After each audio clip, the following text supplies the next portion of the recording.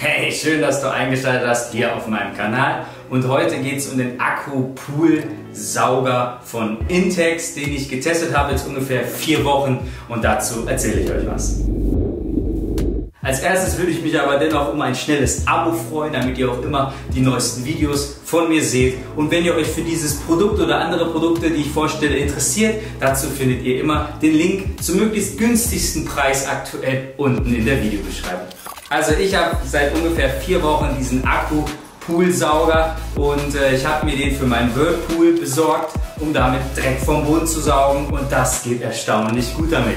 Ich hätte es selber nicht gedacht, aber gerade die Leute, die einen Whirlpool haben, die kennen das Problem. Da hat man nämlich nicht die Möglichkeit, einen Saugschlauch anzuschließen, sondern man ist eigentlich auf so etwas hier angewiesen und das funktioniert auch. Der wird folgendermaßen ausgeliefert mit einer Teleskopstange, die auf 2,82 Meter oder so ausziehbar ist. Diesen beiden Düsen, die man da unterschiedlich aufstecken kann, je nachdem, was man vorhat. Dann gibt es noch eine, eine, einen Teleskopstangenadapter für andere Teleskopstangen. Wenn man schon eine hat, die besser findet, die länger ist oder kürzer, wie auch immer, dann kann man diesen Adapter verwenden.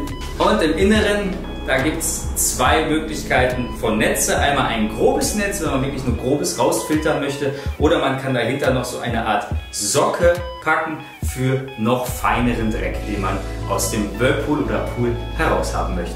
Das Ganze machen wir jetzt einmal. Ich habe extra etwas Dreck in meinen Whirlpool geschmissen, um das ein bisschen zu demonstrieren, wie das funktioniert.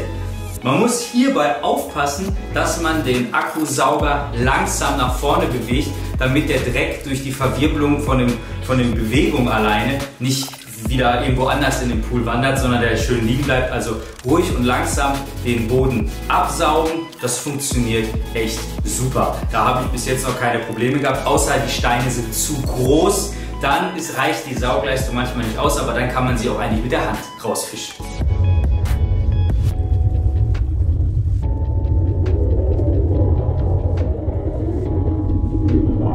Jetzt kommen wir mal zu den Nachteilen dieses Produktes. Also der Haupt, also der größte Nachteil, den ich eigentlich an diesem äh, äh, Akkusauger hatte, der mich wirklich gestört hat, ist hinten dieser Verschluss vom Stromanschluss, dieses, diese Gummikappe. Diese Gummikappe färbt zum einen ab, das finde ich echt blöd. Also man hat danach immer schwarze Finger, man kann das zwar wieder wegreiben, aber erstmal hat man schwarze Flossen und sie geht sehr schwer wieder drauf. Also man muss wirklich achten, dass man die genau gleichmäßig drauf macht und dann runterdrückt. Also man darf nicht verkanten, sonst, äh, da habe ich am Anfang auch minutenlang gehangen, bis ich das verstanden habe, wie das funktioniert. Ähm, aber äh, ja, geht vielleicht nicht anders, damit es wirklich wasserdicht ist. Zusätzlich ist dieser Akkusauger mit einem Wassersensor ausgestattet. Bedeutet, er geht so, wenn man außerhalb vom Wasser ist, überhaupt gar nicht an.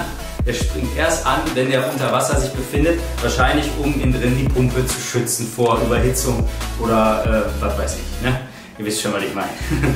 so, also ich bin jetzt nach anderthalb Monaten ungefähr mit diesem äh, Poolsauger absolut zufrieden, weil ich hätte vorher gar nicht gewusst, wie ich den Dreck vom Boden meines Whirlpools bekommen soll, da man ja nicht mit einer Sandfilteranlage ausgestattet ist, wo ein Schlauch anschließbar ist aber auch für Poolfreunde, die vielleicht nicht immer äh, diesen, den, den richtigen Poolsauger mit Schlauch anschließen wollen, sondern mal ganz schnell irgendwas schnappen und einmal den Dreck vom Boden entfernen. Dafür ist das definitiv das richtige Produkt, vor allem auch in einem Preissegment. Je nach Saison kostet der zwischen 50 und 100 Euro. Also ich habe glaube ich 52 Euro bei Amazon dafür bezahlt. Und ähm, da müsst ihr einfach auf den richtigen Moment warten oder ein Schnäppchen aber das lohnt sich auf jeden Fall zu kaufen. So, mehr habe ich dazu auch schon gar nichts zu sagen, will euch auch nicht länger jetzt aufhalten.